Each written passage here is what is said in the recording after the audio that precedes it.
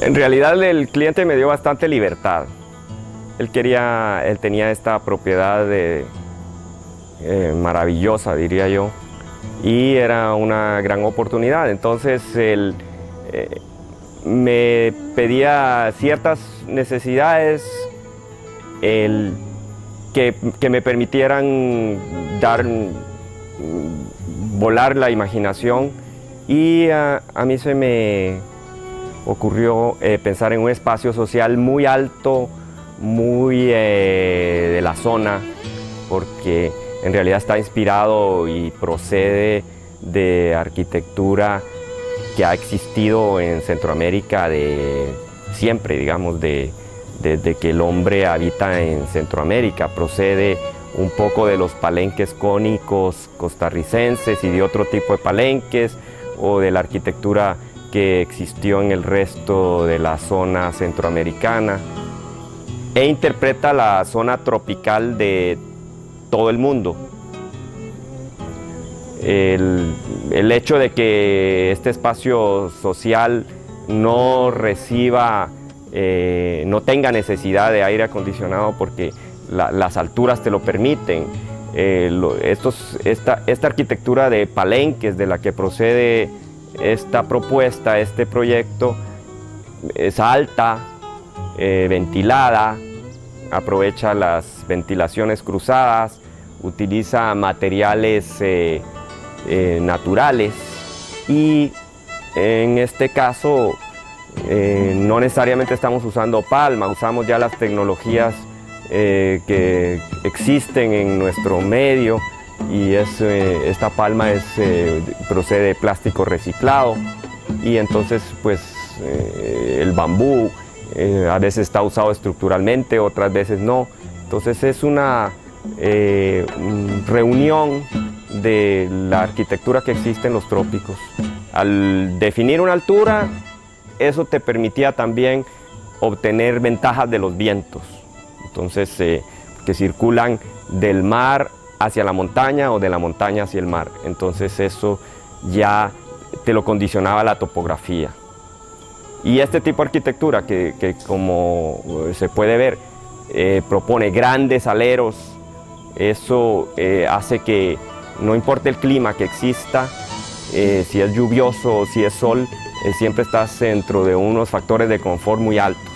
Decía que ya preexistía una, un acceso y una plataforma bastante grande que, que me daba la posibilidad de dejar jardines muy amplios, eh, la casa en realidad es, es de dos niveles, pero uno se puede desarrollar en uno, bajas a la piscina que está en otro.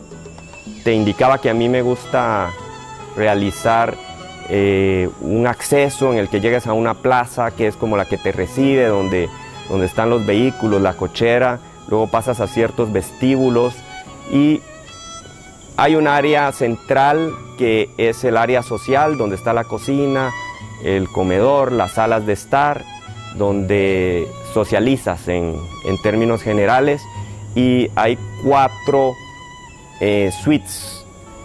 Eh, en realidad los tamaños de las habitaciones están realizados al tamaño de la cantidad de camas que van a tener. hay algunos que tienen una cama grande, otros tienen doble cama grande. Entonces, eh, lo que se quiso crear eran espacios muy cómodos, entonces el amoblamiento eh, dio las medidas del espacio arquitectónico. La residencia está ubicada en una finca de alrededor de 10 hectáreas y está en el inicio del Pacífico Sur, tiene una vista maravillosa para la cola de la ballena, eh, el hecho de estar alrededor de unos 300 metros sobre el nivel del mar, 250, hace que, pues recibas el, frescor de la montaña. Muy eh, grande el terreno, eh, la libertad de los metros cuadrados te permitía no irte a los espacios eh, mínimos, sino irte a espacios de que, que no sean exageradamente grandes, pero que te den esa sensación de que estás en una zona de vacaciones, de descanso. Eh, no podíamos irnos de esta, de esta escala a una menor, entonces ah, tenía que haber un juego, un balance entre el tamaño de las áreas eh, privadas y el tamaño de, las áreas sociales, que obviamente las sociales son más grandes, pero no nos podíamos ir a áreas mínimas porque hubiera sido un sinsentido. Para mí yo la llamo mm, una línea tropical, que era lo que en algún momento ya comentaba, que eh, incorporas eh, lo que, las experiencias del mundo tropical del planeta. Eh, yo trato de que también se sienta que hay un sello del lugar donde estamos, que estamos en Costa Rica, en Centroamérica, y de que haya algo de, que te recuerde que, estás aquí, no en Asia ni en África. Pero eso no quiere decir de que no incorpores detalles y experiencias de, estas zonas tropicales del mundo. Esta casa pues tiene altas tecnologías, eh, tiene las cocinas, eh, tiene, tiene todo lo que se requiere para vivir en el siglo XXI y que te permite la, la tecnología ah, eh, de la arquitectura y de la construcción de este siglo.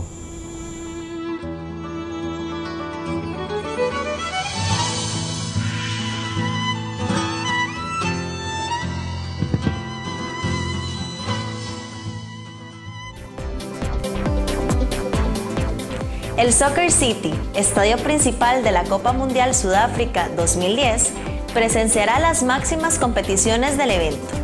Esta importante estructura recibió una actualización masiva para convertirla en el estadio más grande de África. Toda la información de productos y servicios que usted vio en el programa de hoy puede confirmarla en nuestra página web habitatsoluciones.com. Que la pase muy bien y nos vemos el próximo sábado a las 12 de mediodía aquí por su Teletica.